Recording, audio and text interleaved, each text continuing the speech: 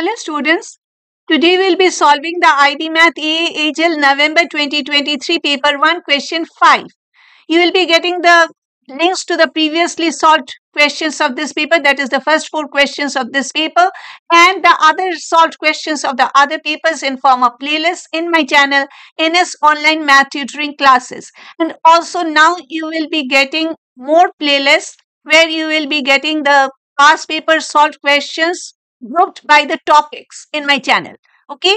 And this is a common question common to both the SL and the HL level students. For the SL students it is question 6 and for the HL students it is question 5 I am Nilanjana Sanyal. I am an online IB Math HL level tutor.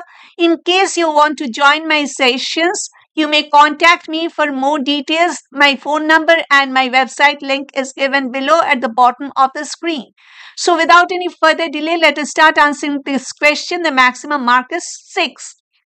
The binomial expansion of 1 plus kx whole raised to the power of n is given by 1 plus 12x plus 28k square x square plus dot dot dot plus k to the power of n x to the power of n where n is a positive integer and q is a rational number.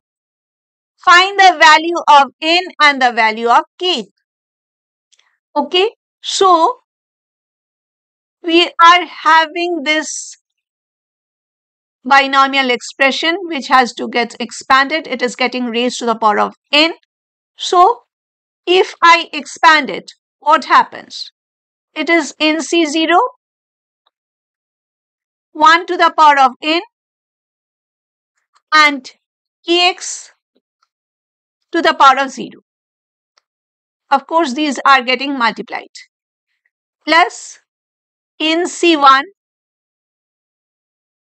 times 1 to the power of n minus 1 times kx raised to the power of 1 plus nc2 plus NC2 times 1 to the power of n minus 2 times kx raised to the power of 2 and plus dot dot dot plus NCN times sorry 1 raised to the power of 0 this is multiplied. And kx raised to the power of n. So this is the expansion. Okay. So we know nc0 is 1 and 1 raised to the power of n is 1 kx raised to the power of 0 is 1 so this is the first term is 1 we are seeing the first term given as 1 what is the second term nc1 if you know that nc1 is n then it's fine or else it is paper one so you cannot use the calculator and n is a variable so you cannot use the calculator even if you had the calculator with you. So it is n factorial over 1 factorial times n minus 1 factorial. And 1 to the power of n minus 1 is of course 1 and times kx. kx raised to the power of 1 is kx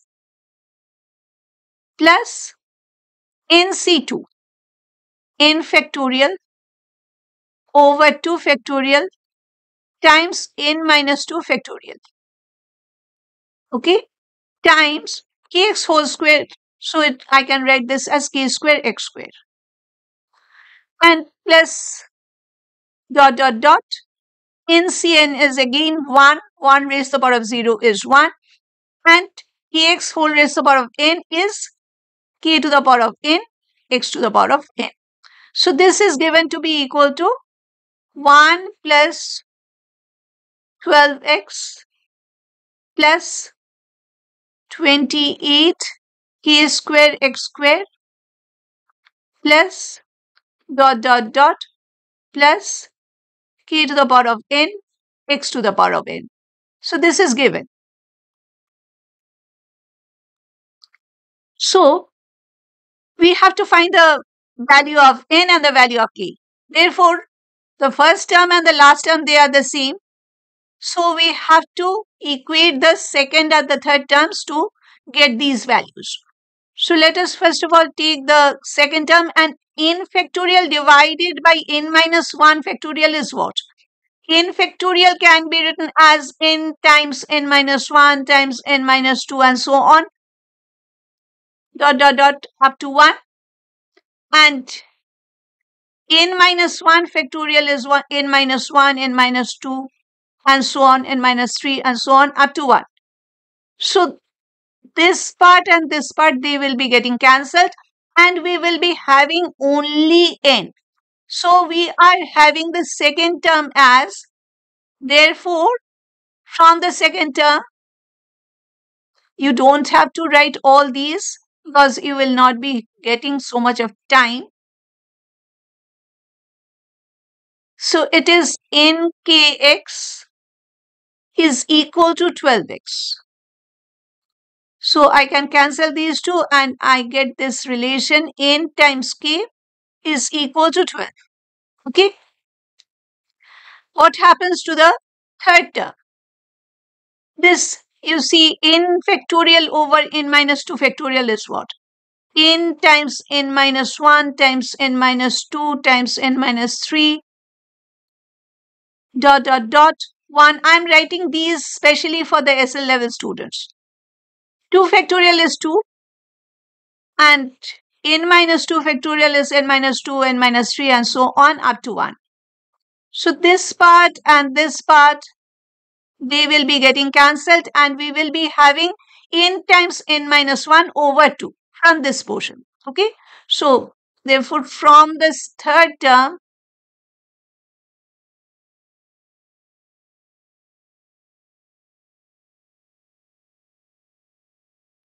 it is n times n minus 1 over 2 and k square x square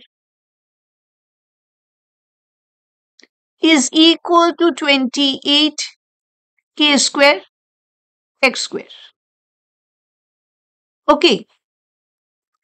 So, I can cancel the k square x square from both the sides and I am having n times n minus 1 over 2 is equal to 28.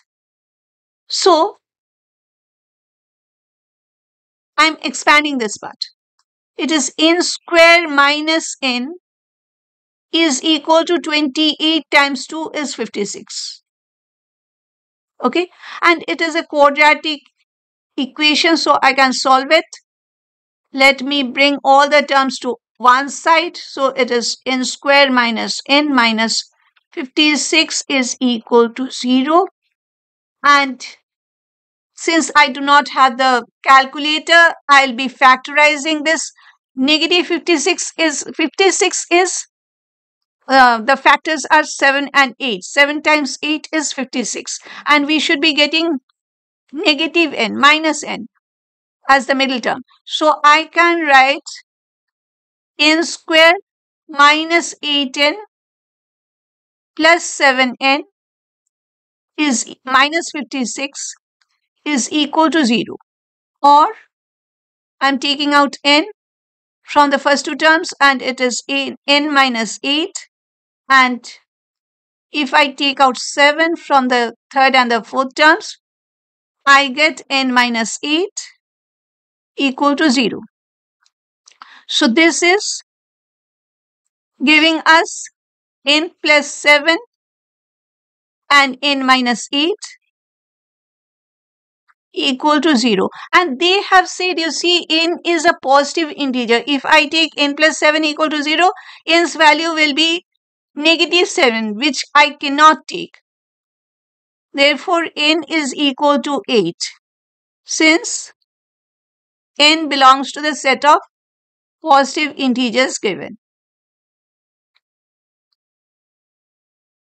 Okay, so the n's value is 8 and we have found n times k is equal to 12.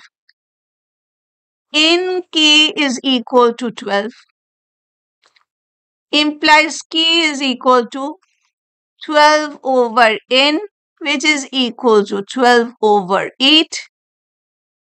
Therefore, k is equal to, if I divide the numerator and the denominator by 4, I get 3 over 2. See, k belongs to the set of rational numbers. So, k is a rational number. The k value is 3 over 2 and the n value is 8. So, we have solved this question completely. Thank you for staying with me till the end. And in case you're liking my explanation, please give this video a like and please share this video with your friends so that even they can get benefited by watching my videos. And in case you have not subscribed to my YouTube channel till now, please subscribe to my channel. It will be motivating me to make more math videos for you as well as it will be telling the YouTube that my videos are worth watching. So it will be showing my videos to other students as well. And we meet again very soon in our next session. We'll be solving the very next question of this paper. So till our next session, bye.